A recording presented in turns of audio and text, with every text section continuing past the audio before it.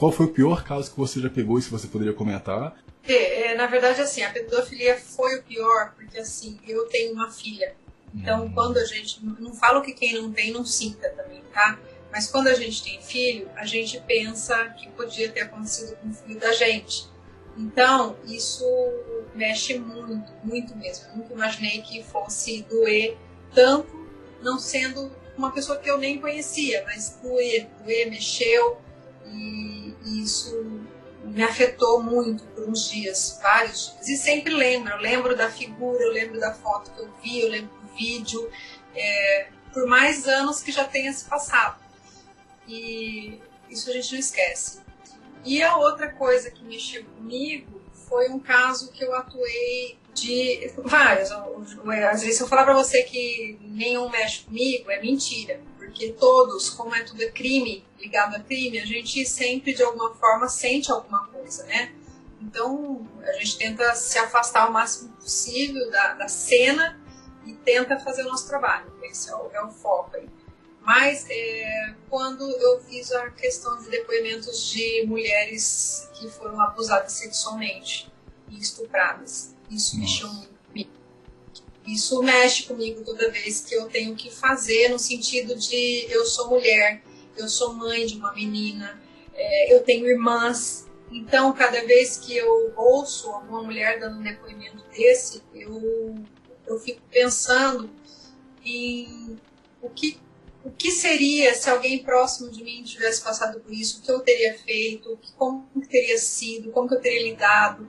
Então eu respeito muito essas mulheres que passaram, não só mulheres, tá? Eu já vi depoimentos também é, de, de homens, né? Então assim, é, não tem não tem sexo, não tem gênero. Uhum. Na verdade, quando você perde o seu a sua condição de você escolher o que você quer para sua vida, é, machuca muito. Você acaba de, perdendo a sua liberdade de, de ser você mesmo. Né? Então, isso é uma coisa que mexe muito comigo. Eu fico pensando o que, o que teria sido feito se fosse comigo. E eu só peço, toda vez eu, eu, eu rezo, peço a Deus para que proteja essas pessoas e que traga paz no coração de cada uma. E aí faço o meu trabalho.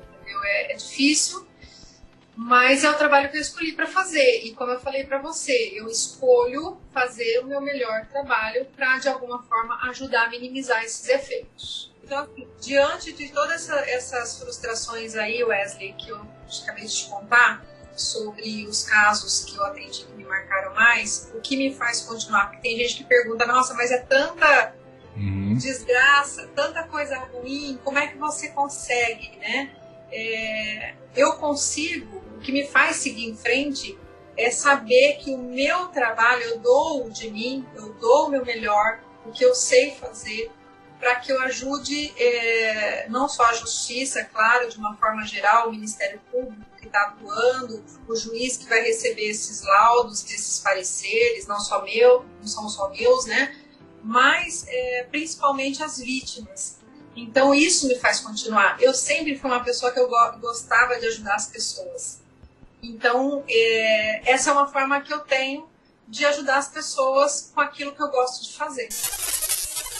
Esse vídeo é uma versão cortada da entrevista que realizei no AFD Talks. Você pode acompanhar a entrevista completa no link disponível na descrição ou nas principais plataformas de podcast. Se você tem interesse em se tornar um perito de forense digital, então lhe convido para conhecer os treinamentos disponíveis no site da Academia de Forense Digital.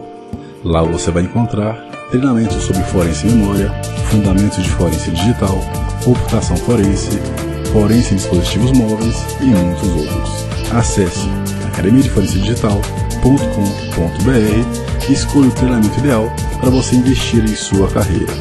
Bons estudos!